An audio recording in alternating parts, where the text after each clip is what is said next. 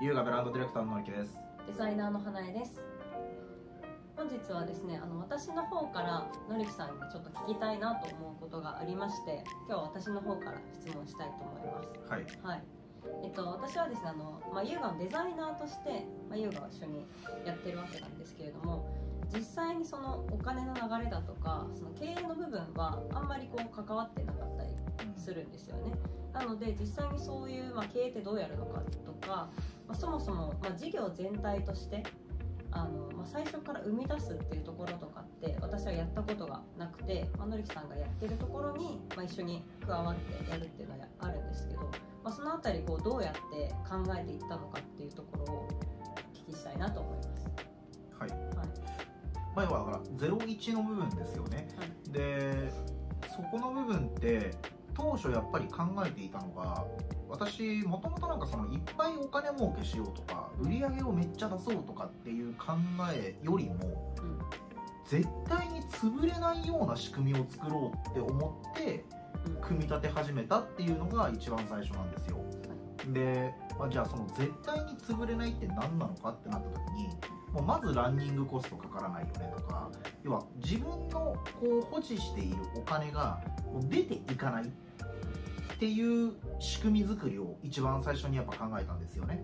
で、まあ、例えば優雅にしても完全受注生産だからお客さんから注文が入ってこない限りは作らないじゃないですか。はい。だからお金かからないじゃないですか。うんで、えっと、収益の母体である、えーまあ、インスタグラムや EC の運営代行だったりだとか今ちょうど花江がねマーケティングの受託やってますけど、はいえっと、そういうデジタルマーケティングのこう受託だとかって、まあ、そもそも要は自分の時間だけが、まあ、かかってきて要は時間単価っていうのも、まあ、そこら辺でアルバイトをするよりもやっぱり全然高いわけですよね。ってなってくると結局お金出てかないじゃないですか。で、えっと、今ってまあその2019年に事業を立ち上げた時に思い描いていたことが、まあ、うまくこう思い描いていたまんまこう形になっている状況なんですよ。で、えっと、ここから話すことが、えっとまあ、今回、まあ、本題なのかなと思うんですけど実際こうお金とか、まあ、それこそこの前の YouTube お金と時間の作り方とかまあ、そういうのって、えっとまあ、再生回数が私たちのチャンネルの中ではやっぱりなんかちょっと回ってあの本当にありがとうございますって感じなんですけど、えっと、実はそこじゃないんですよね。実際にやっぱりやっていると結局じゃあどこなんだって話でその最初ってまずお金ないじゃないですか。で最低限はもちろんその例えばじゃアルバイトやったりだとかその、まあ、正社員やってとか自分の持ってるお金を使ってさらにお金を増やすとかっていう動画の内容を話したんですけど実際の話は、まあ、もちろんそれはやるんですよ。それは最低限やるんですけど結局やっぱりその人が一番っていうもうその巡り合わせというかその引き当てというか、まあ、それは自分からやっぱり行動しなければ絶対に引き当てられないですしだその本当に需要要は必ず誰かしらこの一人の人間あの困っていることがあるわけですよね。悩みがあるわけですよ。要はこれをじゃあ解決私できますよ。っていう状況で要は仕事が成立するのでここの困っている人探しをめちゃくちゃするっていうのが一番お金に直結することだと思うんですよ。だから要は0から1って何か新しいことを考えなきゃいけないとか何か新しいものを生み出さなきゃいけないとか、まあ、そういうことを先に考えてしまうんですけどもっともっとすごく単純に考えていいと思うんですよ。単純に困ってる人がいます。でその困ってることって私解決できますかできませんか。でそのレベルもこの困ってることに対してじゃあちょっと考えれば解決できます。めちゃくちゃ考えれば解決できます。どんなに頑張っても解決できません。もうこのレベルじゃないですか。全く考えないでできるんだったらすぐに取れるわけですよね。ちょっと考えてできるんだったらば少し提案書を作って持っていけば仕事になるわけですよ。とかっていう。でそれにかかった時間で単価変わるわけですから要はそういうような作り方をしていったっていうかみんなお金とか時間とかって、まあ、検索的にねキーワード的に検索しやすいから、まあ、どうしてもそこが、まあ、要は反応があるのかなっては思うんですけどでも実際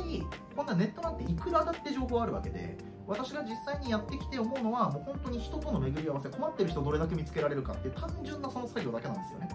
でまああとは実際にその困っている例えばじゃあ優雅優雅の場合ではと困ってる人いませんと。困ってる人いないんですよ。でこれってその例えば一番最初にじゃあ基盤を作るためのその月間だったり年間だったりするサービスで困ってる人探しをすればできる、えー事業形態。で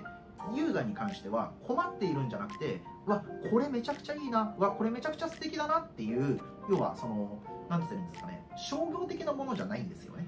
何か需要があって機能的なところで、えーそれを求められるっていうわけじゃなくて感覚的な部分で、えーこれって素敵だなって思われてやるものなのでやっぱり私たち2人からすると鼻が特に分かると思うんですけどめちゃくちゃ売るの難しいんですよ。困ってないから。別にいらないですもん。普通に。その必要ないんですよ。生きていくのに必要がないんですよね。だけどやっぱりその感性だとかを刺激されてこれめちゃくちゃかっこいいなこれめちゃめちゃ綺麗だなって思うからやっぱり高額な金額を支払ってでも要は買っていただけるっていう。この2つの軸を持っているので、まあ、成り立ってますけどやっぱりこれ、まあ、例えば